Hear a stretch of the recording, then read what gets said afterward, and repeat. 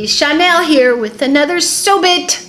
Today we're talking about ruffles. How to make simple ruffles. I know there's a ruffle foot out there that everybody talks about and I don't, I don't think I've ever used it. Um, mainly because I don't really make a lot of ruffles. There was a time um, I was doing a lot of chili cook-offs and was making a lot of uh, aprons that had ruffles on it and stuff too. I probably would have liked that ruffle foot back then, but but it's actually really simple to just run two basting stitches along your fabric and then gathering them up and getting ruffles. So um, I've also taught a lot of my students how to do it and they do have little hang-ups on it and I think there's just one trick is just to get long stitches and not let the feed dogs hang up. Uh, making sure you have the right needle because if you don't then you, your stitches won't be even.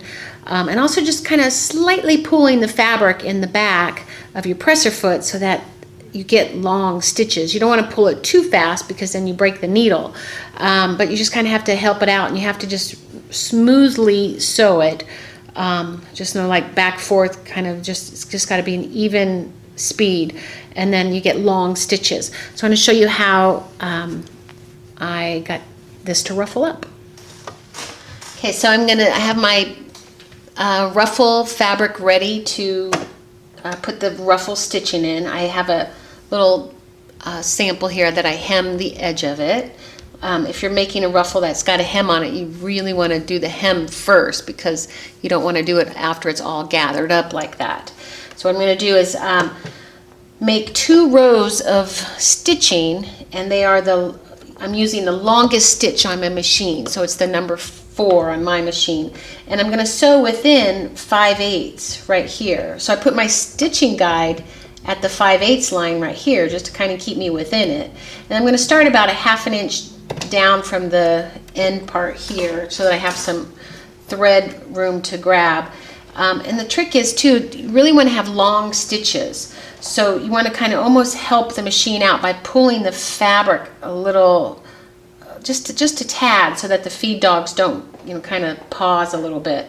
And um, um, you just want to do, you know, no reverse stitching, just two strips of thread um, of stitching lines. And I'll start right here. I'm just going to pull. I actually, I'm pulling this thread right here just a little bit, just to help it out. And then I got to grab the fabric right here. So, then I'm to stop about a half an inch before the end also. Take that out, trim it, and then I have a nice long stitch. And a lot of times doing the contrast thread on the other side really helps too, um, so that you can see it, because this will all get enclosed into a seam um, if it's a ruffle there. So now I need to do another stitch right next to that one, and if I followed my presser foot guide here, like this is at 5 8 so I'm actually going to go a little bit. I'm not going to follow the presser foot because then I'll be without it. You can actually go over the 5 eighths too. You just have to pull that basting stitch out once it gets into a seam. So I'm going to sew close to that seam. Start again half an inch down. To kind of pull the fabric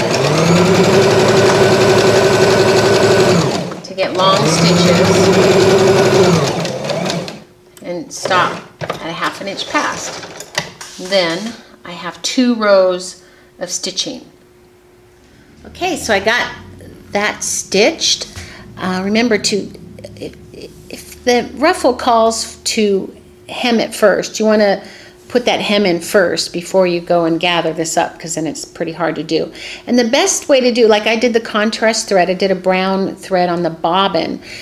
The bobbin thread always seems to sew looser. So if you want to grab those two bobbin threads here, you grab the two um, two at a time right there.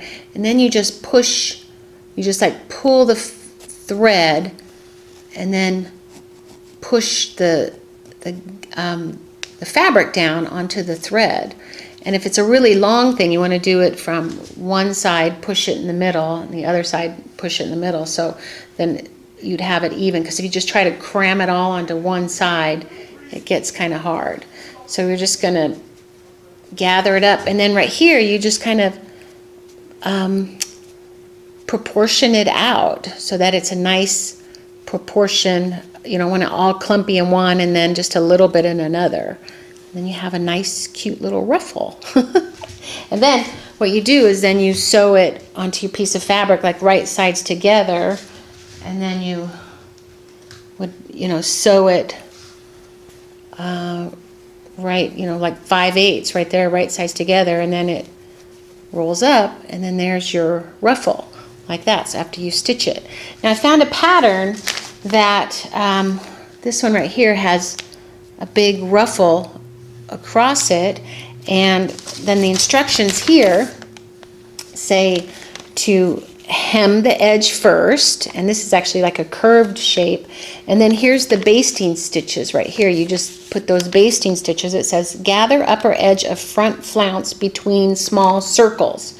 So you'll have, so it's kind of telling you um, that it's not all the way close to the edge right there, but it's just two even rows of basting threads, and then you pull them, and then you gather them up, and you set it in that way, and that's how that ruffle gets in there.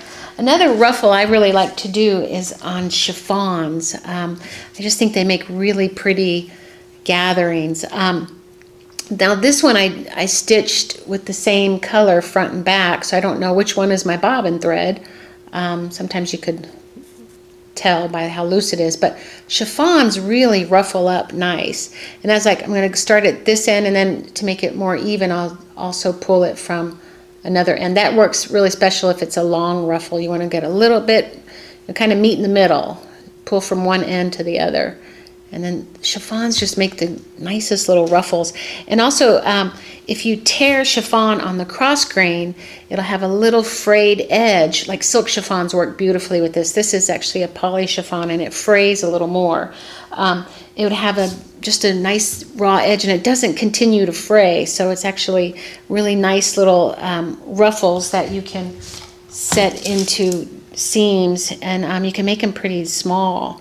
So this is how the chiffon ruffled would look here like that. And it's just, um, just a nice ruffle. Also, you can do, you can fold the fabric in half so you don't have a raw edge here and do the same. And right here I actually put the brown as the bobbin thread and I pull that and then it looks like it's just a nice little ruffle. And if it has a folded edge and not the raw edge, it's also pretty cute too. And then that just gets put into your seam and then you can have like a, you know, put around a pocket or in a seam um, on a yoke right there and it just I think they're really cute little add-ons, and I, I just love chiffon ruffles like that, and it would look like that. And you can make them really tiny too. They can just be, you know, it's all the width that you put it. Also, the measurement, if let's say you're putting a ruffle in a 10 inch um, piece of fabric right here, the math would be you want to cut the strip 20 inches.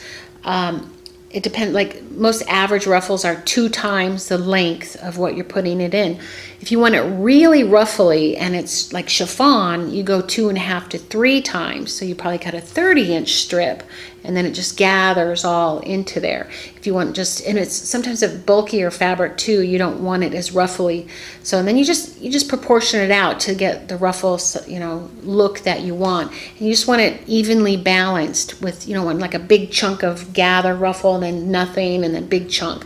So that's all just moving those threads, moving these threads right here and balancing it out. So try some ruffles and they actually just the more again they're like the zippers the more you do the better you get at it and I just make sure those long your stitches are long and even like a long stitch and there isn't any as soon as you have like a stitch that's real short and tight then it gets stopped. The whole gather gets stopped. So it's definitely a technique you got to learn a little bit, but really easy. And I think it's probably easier than a ruffle foot. I don't know. I should try those ruffle feet. But I do a lot of things without having to get feet and stuff. It's all the techniques that you learn. So we'll try some ruffles. I'll see you in the next sew bit.